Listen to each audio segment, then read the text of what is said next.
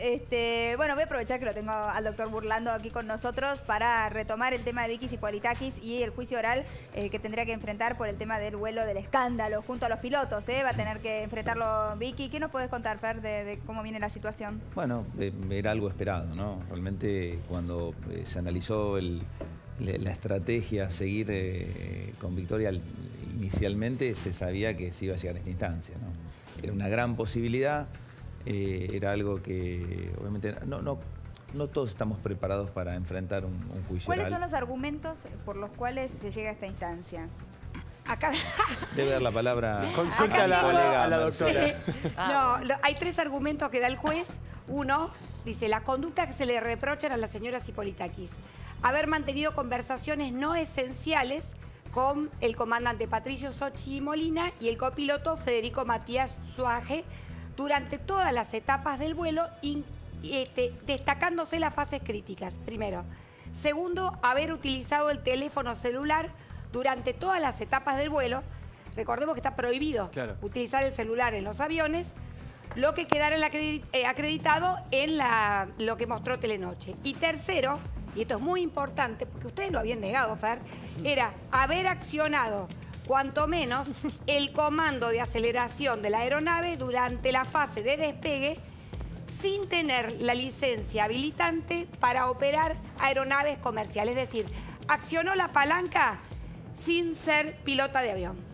Piloto. Cuanto menos. Eh, me parece que es una premisa de alguna manera que, nos da mucha esperanza nosotros para la, audiencia de debate. De todas maneras, yo no creo que lleguemos a, esa audiencia de debate. Sabés que toda esta crisis que tuvo este, Victoria con, su expareja. Le, han generado este, obviamente muchos cambios. Pero igual, perdón, ¿no era lo que ella quería, llegar a un juicio oral? Sí. ¿No era el deseo de Victoria? Cuando precisamente estaba con Otavis. O ah, ahora cambió de Esto se evaluó, eh, digamos, una conversación, te, diría tripartita, estaba Otavis, estaba Vicky. Él era el que le había aconsejado que le convenía a ella. En realidad, este, quien decidió esta, esta circunstancia fue Vicky.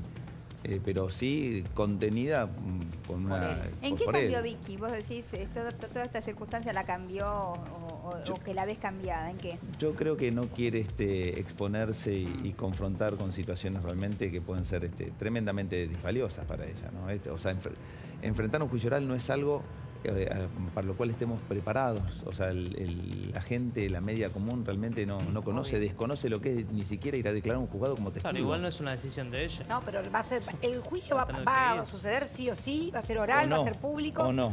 Yo te apuesto que ¿cómo se puede evitar?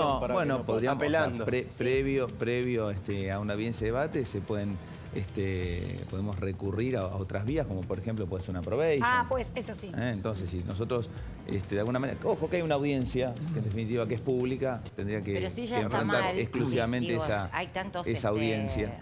artilugios legales, digo, si está mal, si está quebrada en lo anímico por la separación de Otavis, ¿puede llegar a retrasar esta instancia?